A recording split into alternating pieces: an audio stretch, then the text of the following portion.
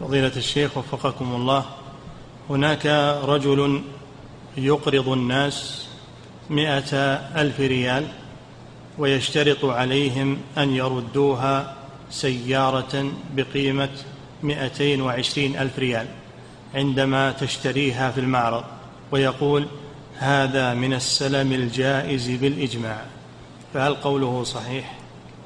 هذا حسب هذا حسب العقد. إذا كان دفع له فلوس مقدمة على أن يأتيه بسيارة بمواصفات مضبوطة فلا بأس.